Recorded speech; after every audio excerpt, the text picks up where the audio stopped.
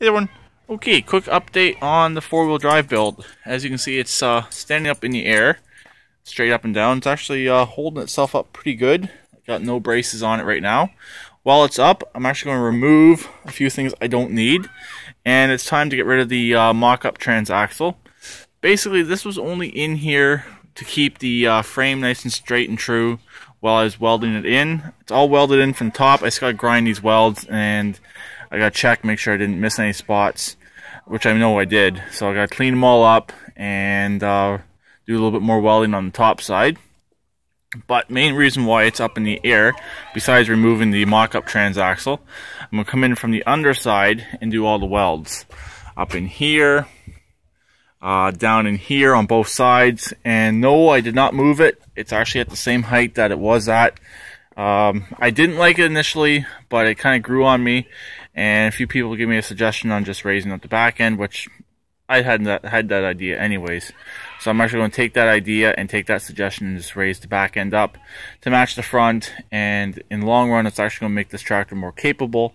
This tractor is actually going to be lengthened, and it's actually become, going to become a two-seater.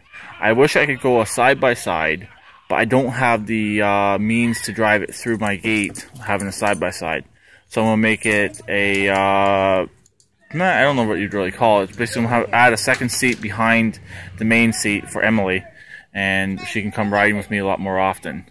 So that's that's my idea right now. I got another fender I can use. All I'm really going to use is just this top half here. I'll figure out something. That's my idea at least. That's what I'd like to do at least with it and uh, make it a make it something like that. And then behind her seat there'll be the toolbox.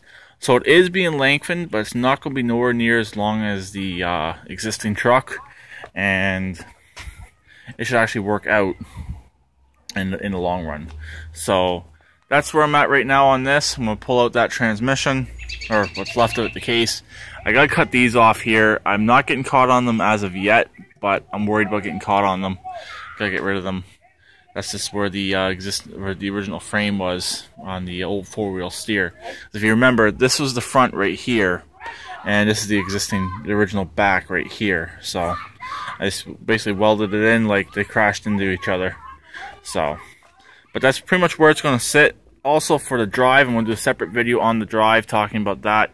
I got a few different ideas, an easier way and a harder way and I might end up taking the easier way, not just because I know the haters, what the haters will say, but this easier way of doing it, less uh, mechanical, less uh, linkages to worry about, less worried about of a breakdown, so on and so on. So it will actually work out in the long run a lot better doing the, doing it a little bit easier way. So that's where I'm at on this right now. And uh, stay tuned for next update on when we talk about the drive.